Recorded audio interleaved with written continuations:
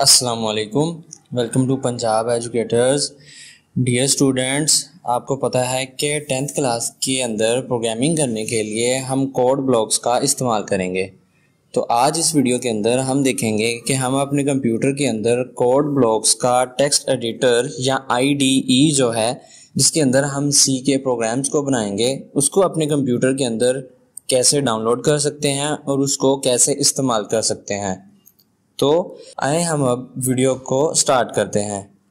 सबसे पहले हम अपने कंप्यूटर का क्रोम ब्राउज़र या कोई भी ब्राउज़र ओपन कर लेंगे। ऊपर हम लिखेंगे code blocks dot O R G लिख के जैसे ही आप एंटर प्रेस करेंगे तो आपके पास ये वेबसाइट ओपन हो जाएगी। आपने इसकी लेफ़्ट साइड के ऊपर आ जाना है। डाउनलोड्स के ऊपर क्लिक कर देंगे। जैसे ही डाउनलोड के ऊपर आप क्लिक करेंगे तो यहाँ पे आपने क्लिक करना है डाउनलोड दी बाइनरी रिलीज़ के ऊपर।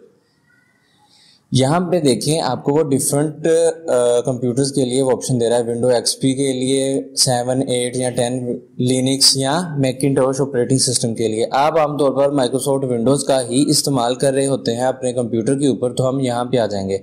माइक्रोसॉफ्ट विंडोज़ के ऊपर। यहाँ पे आपको बहुत सारे वर्जन दे रहा है कि आप इनमें से कौन सा डाउनलोड करना चाहते हैं। आपने इस चौथे वाले को फोर्थ नंबर के ऊपर जो ऑप्शन है code blocks twenty point zero three उसको डाउनलोड करना है। सामने सोर्स फॉरगेट डॉट नेट का ऑप्शन है। यहाँ पे क्लिक करेंगे, यहाँ से आप इसको डाउनलोड कर पाएँगे। जैसे मैं क्लिक किया है तो देखें, ये एक न्यू वेब पेज के ऊपर ले गया है, जहाँ पे टाइमर चल रहा है।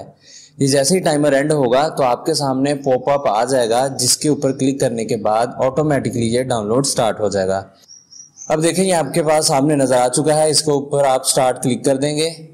डाउनलोड होना आपका स्टार्ट हो गया है, जो कि 145 सौ का है। इसके लिए आपको वेट करना पड़े फ़िलहाल तो ये डाउनलोड हो रहा है, जैसे डाउनलोड होता है, इसके बाद हम इसको इंस्टॉल करना सीखते हैं।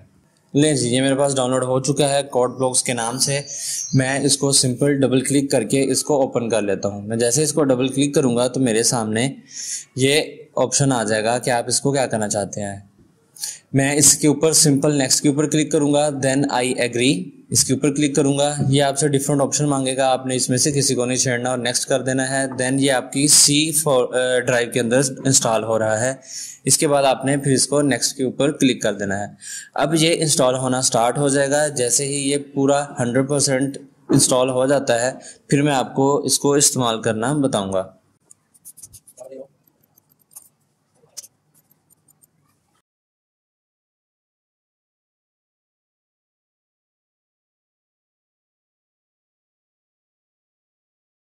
ओके okay, तो ये कंप्लीट इंस्टॉल हो चुका है। अब ये पूछ रहा है do you want to run code blocks now आप चाहें तो इसको यस कर दें बेशक आप इसको चाहें तो नो कर दें।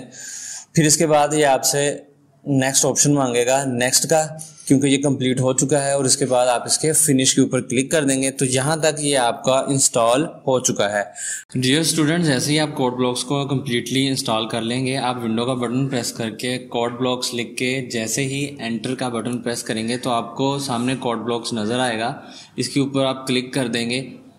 तो आपका कोड ब्लॉक्स जो है वो आपके सामने ओपन हो जाएगा। आप देख सकते हैं कि स्क्रीन के ऊपर भी मेन स्क्रीन के ऊपर या डेस्कटॉप के ऊपर भी कोड ब्लॉक्स का आइकन मौजूद है। आप डायरेक्ट वहाँ से भी इसको ओपन कर सकते हैं। ये आपके सामने कोड ब्लॉक्स का मेन आपके पास इंटरफेस आ गया है और यही आपका मेन पेज है। आप इसके अंदर फ़ाइल के ऊपर जाके न्यू के ऊपर क्लिक करेंगे